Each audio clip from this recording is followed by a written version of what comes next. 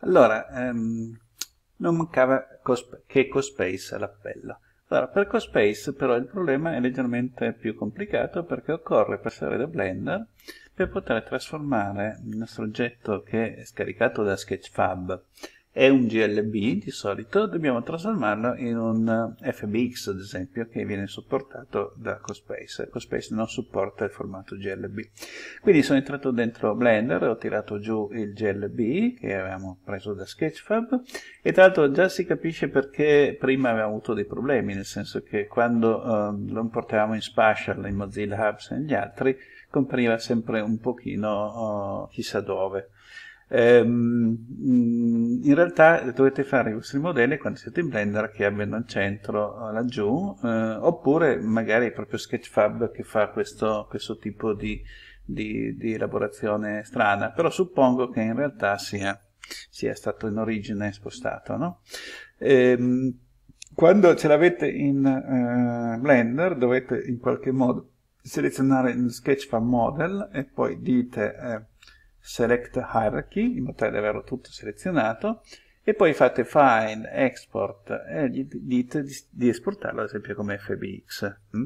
Come FBX fate poi attenzione che quando lo esportate come FBX dovete esportare soltanto i selected objects. Mm? Il path mode tipicamente FBX deve essere copy e questo anche, il path mode quindi praticamente eh, copiate le texture praticamente e, e, e, le embeddate in modo che sia tutto autocontenuto, selected objects soltanto quello che volete e a questo punto potete esportarla come boschetto, chiamiamolo boschetto 1.fbx. Mm? Eh, facendo in questo modo eh, siete sicuri di avere praticamente un um, eh, andiamo sotto, messo sotto documents quindi abbiamo date modified abbiamo boschetto 1 vedete che è leggermente più piccolo dell'altro che avevo esportato prima. Quindi siamo un pochino più grossi perché il formato FBX non è ottimizzato come il GLB ma è questo è la parte sostanzialmente più difficile. Però se partite da Blender è più facile perché potete esportare direttamente in formato FBX a questo punto andate praticamente nel CoSpace che avete eh, avete varie possibilità, eh, mandate nei cospace, create un cospace con empty eh, scene, una scena vuota. In questa scena vuota vedete che assomiglia a quella che abbiamo visto in Spatial o in Mozilla Hubs o in FrameVR e qui abbiamo la possibilità di fare eh, l'upload di, uh, di un nostro oggetto, in particolar, in particolar modo di un 3D Models. Facciamo upload e qui gli mettiamo documents e gli mettiamo il boschetto 1 fbx ed essendo low poly probabilmente ce la fa a tirarlo su in fretta hm? successfully uploaded perché è velocissimo. Got it ce l'abbiamo il boschetto 1 lo possiamo prendere e lo mettiamo nella nostra scena. E vedete qui abbiamo il problema grosso che abbiamo visto l'altra volta e cioè che eh, compare non dove siamo noi ma sopra perché era messo male. Ma comunque poco male lo um, eh, modifichiamo le, le, sempre con, questo, uh, con queste cose, frecce, praticamente lo tocchiamo, lo spostiamo, lo mettiamo in modo tale che il nostro omino compaia in un posto che abbia un senso, hm?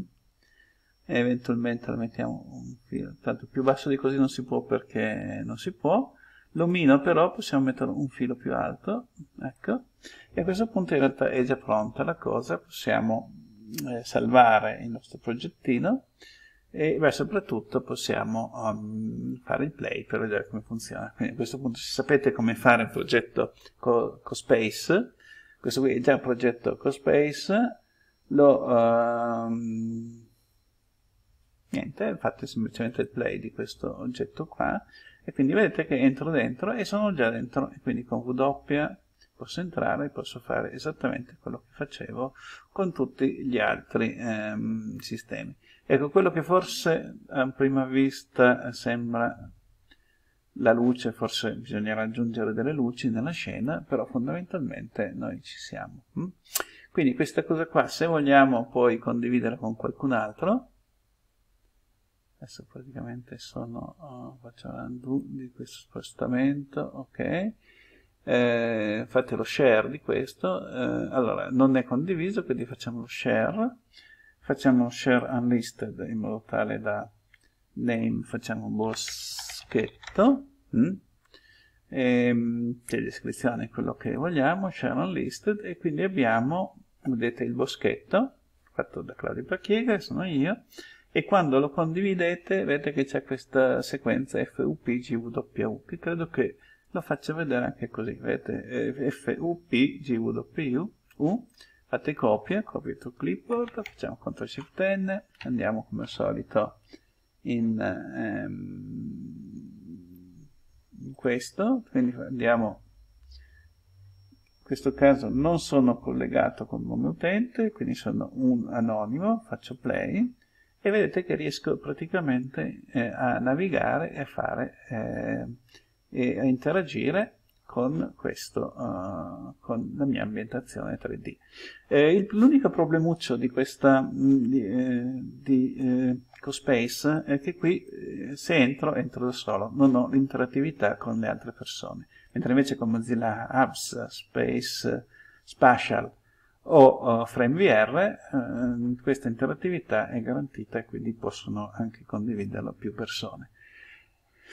Direi che è tutto anche con CoSpace, eh, fatemi sapere se ci sono dei problemi particolari. Va bene, buongiorno.